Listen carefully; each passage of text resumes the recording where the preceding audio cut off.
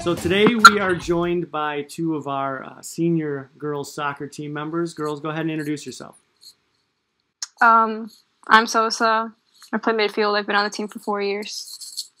Uh, I'm Emily. I play center mid, and I've been on the team for four years too.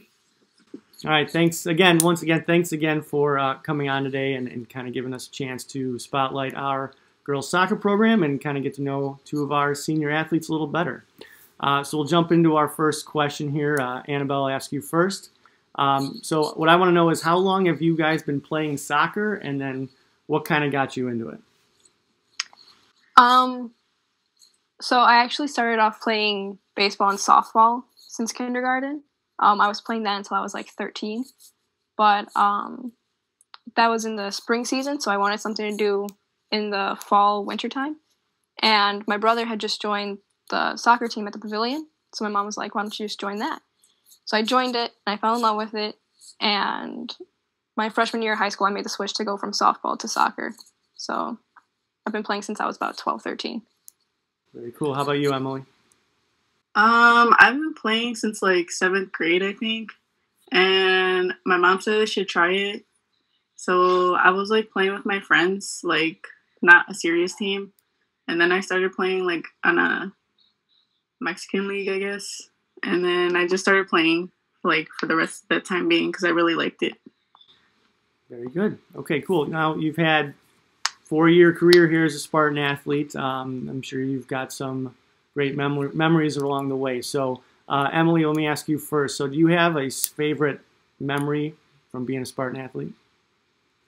Um, I think my favorite memories were not really from the games. Like the games were fun, but they were mostly from the practices because um, I would really like going to practices with Fernanda.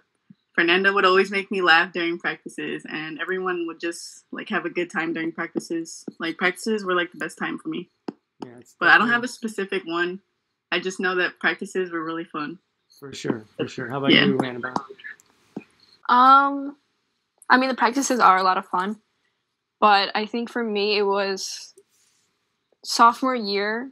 Um, the JV team had won won the consolation bracket, so it was like kind of bittersweet. But um, it was nice because in the final we played TF United, and um, the first game we played them was in like the regular season, and we had lost. So it was nice to come back two one last minute penalty. It was it was really dramatic. It was really fun. Very cool, very cool. So, um, when you're not playing soccer or hanging out at those fun practices, what uh, what keeps you busy? What are what are your hobbies and your interests? Sosa. Um, honestly, just schoolwork. Um, I have a couple AP classes. I have a couple honors classes. So it's not that the pi- it's not that the work piles on, but it's just a lot of work that you have to get through. So, um, yeah, I'm usually just catching up on schoolwork. Very good. How about you, Emily? Um, so I've been slacking on schoolwork a little bit, but I'm still trying really hard. So I just been like drawing and like painting shoes and like painting stuff and like watching shows and that's it. That's what I do. Got it, got it. So, um, you know, obviously, remote learning is a ton of fun. I'm sure. You know, sitting in your couch and, and getting your work done, as opposed to a plastic desk. But I'm sure there's those classes that we missed, maybe those teachers that you missed. So, uh, do you have a favorite class or a favorite teacher, and, and why is that? So, Emily, will ask you first. Um, so my favorite classes to go to were my art classes. I had two this semester. I had clay in the morning and I had um, spring studio in the afternoon. And it was Miss Clark, and I miss Miss Clark because she was a good teacher. She still is a good teacher, and she was really chill with me and Tati. So yeah. Very cool. How about you, Anabel? Um, I've always liked math, so I've always felt really like good and confident in my math classes. Um, and right now, Miss Sampson teaching AP Calc, she does a really good job connecting to her students, making sure we understand the material, and making sure that we all know that she's there to help us through it all.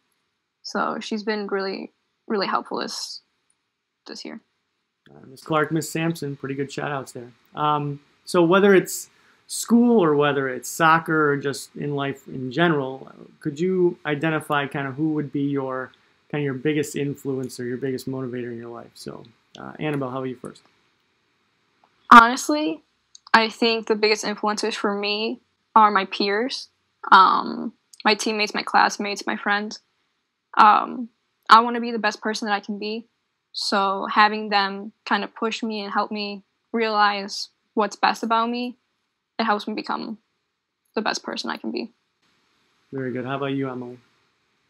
Um, I think mine is my mom because she's the one that taught me to like work hard for what you want and all that. So it keeps me going and like keeps me wanting to get better at everything, you know. Very good. Family, friends, can't go wrong there. Um, so we've been away from our teammates and, and coaches and everybody for for too long now. I'll say. Um, so, do you have a message, either your teammates or your coaches, that, that you'd like to share? So, how about you, Emily? Um, I think I would just tell you guys to not go outside still, like just stay inside find stuff to do and hopefully we'll go back to school and everything will be okay again and to just stay positive and if you get bored and stuff like just watch some YouTube videos because that's what I do. Especially this one. Got to watch this one. Yes, uh, yes. this one yes. first. Watch this YouTube video. Healthy and safe for sure. How about you, Anabel? Um, yeah, pretty much the same thing. Just lim- try and practice social distancing as best as you can, so this whole thing blows over and we can hopefully start school up again as soon as possible. Um, and yeah, just stay positive. Can't go wrong with positivity. That's right.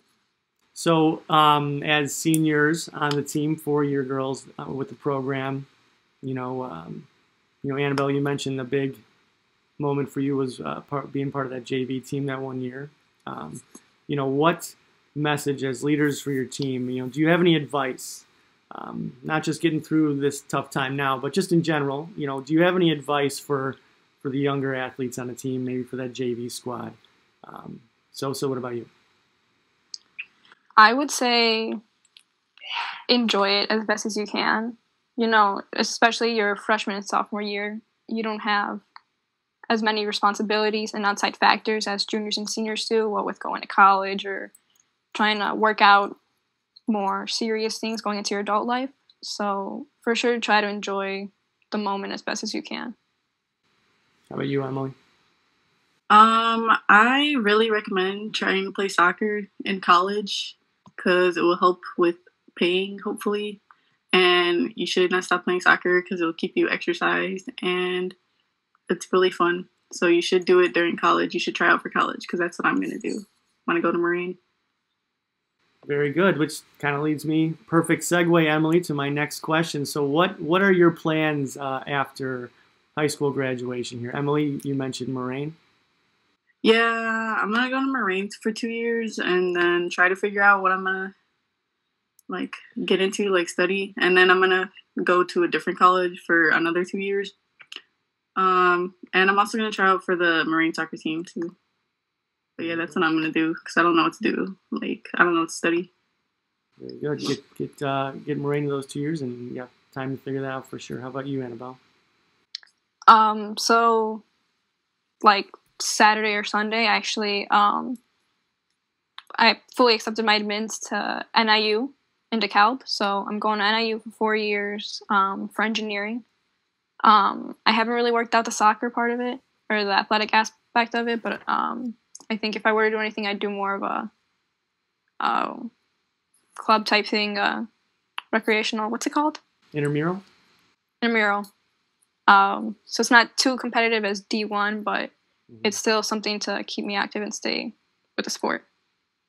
For sure, you want to. You have so many good times here. You want to you want to make sure you maintain that link and that uh, competitive edge for sure. So, um, so once again, uh, thank you guys for sharing some of your time today to sit down and talk. Um, you know, I I hope we're able to see you guys maybe sooner than than later for sure. Um, and I know I can speak for Coach Farrow here when I say thank you for all the time, all the effort you guys have put into the program uh, over the last four years, bringing it to what it is today. And um, and good luck, good luck at NIU at Moraine next year, and, and best of luck to you in, in everything. Thanks. You too. Thank you. Thank you. You All right, too. have a good one. You too. Thanks everybody for tuning in and, and watching another spotlight this week. Um, you know, stay tuned on all of our social media platforms at OLCHS Athletics. Uh, we are on Facebook, Twitter, Instagram, and on YouTube. So make sure to follow us on each one of those platforms for the latest updates and more of these spotlights. So we'll be back next week with another team, another few uh, senior athletes. We're looking forward to it. So until then, stay safe, stay positive, and go Spartans.